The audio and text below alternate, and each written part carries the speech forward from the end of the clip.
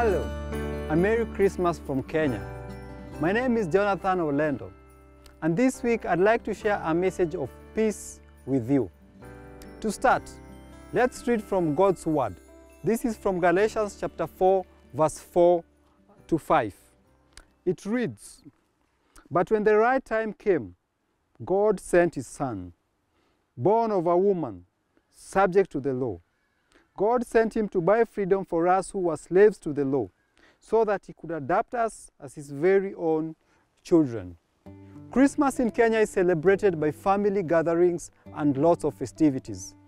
Many people save money throughout the year so that they can travel and spend time with loved ones, as it is the case of so many parts in the world.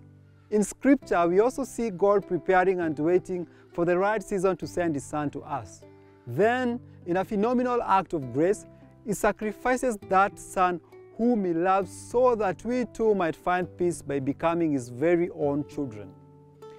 In light of that tremendous gift, this Christmas, I'd like to encourage you to keep in mind three important words. Season.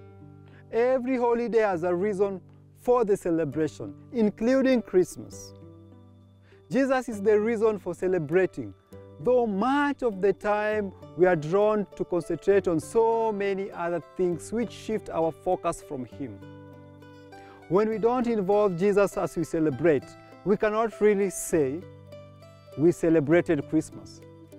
This Christmas, be intentional and make Christ the reason for the season.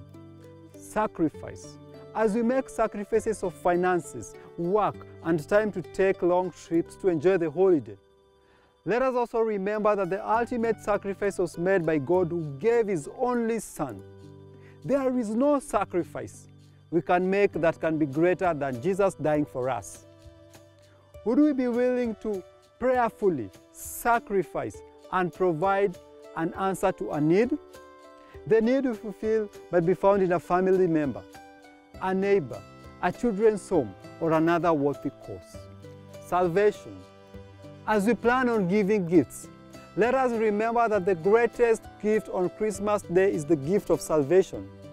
When God redeemed us for Himself, He gave His very best for us so that we might be free and experience the joy of becoming His children. That brings me back around to the idea of the season once again. Christmas is like an open door for sharing the message of salvation. It's built right into the holiday. Let's make an intentional effort to share the goodness of Jesus Christ with people around us. Go with peace, remembering the season is about Christ, the sacrifice made by Christ, and the salvation that comes through Christ.